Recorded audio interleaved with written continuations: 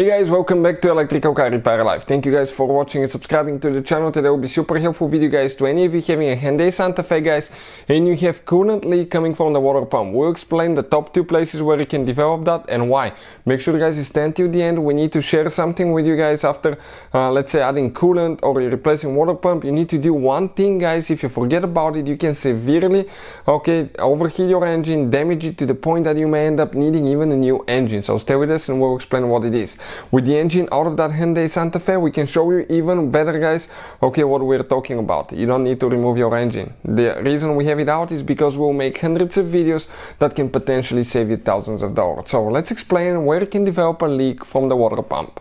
So this should work on Hyundai Santa Fe generation 2013 all the way to year 2016 guys with a 2.4 GDI engine. Now let me introduce you to the channel quick. Every single car we get at the garage we try to make at least 2 to 300 free repair videos. We take them completely apart, we show you how to fix practically anything guys. Why we do all that? Simply because our mission in the shop is to save you as much money as we can. All we need in return, please subscribe to the channel and like the video. This engine, okay, will be completely taken apart, transmission will show show you how to fix almost anything on it.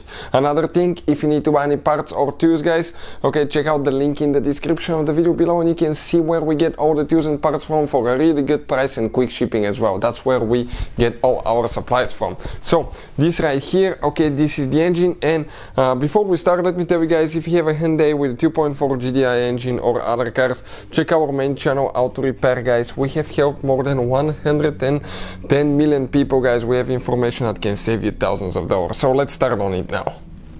So this guy's engine is out of a 2013 Hyundai 2.4 GDI engine, but even if you have a six-cylinder engine on some new Santa Fe's, okay, uh, uh, the 3.3 I think it is, the procedure could be very very similar guys. But let's explain now what can cause, okay, uh, leak from the water pump on the 2.4 GDI engine. But before we start, okay, I want to share something with you guys. Many of you ask me in the comment section below to recommend a good computer scanner for diagnostics, and this is the one that we recommend. I'll put the link in in description of the video below. It's amazing tool that can pay itself off in one time use. So check out the link guys. It works on almost any car you can think of. So definitely guys, it's a great, great scanner. Now, let's explain okay about the water pump water pump guys okay on the 2.4 gdi engine is installed okay on the serpentine belt side and it's driven by the serpentine belt this is okay let me see where we left the pulley okay this is the pulley for the water pump. You have to uh, when you remove them you always have to remove the pulley so you can remove the pump otherwise you cannot get the bolts loose. Now that water pump itself guys where it can develop leaks. Number one thing when they start failing okay uh, they will develop a leak okay coming from behind the pulley okay right here because what will happen it will develop a play and eventually that water pump will develop a leak and as a result guys okay you will end up leaking from right here. The coolant will come from here and it will exit between the pulley and the pump the water pump housing. What about another leak that can develop? It's from the gasket guys.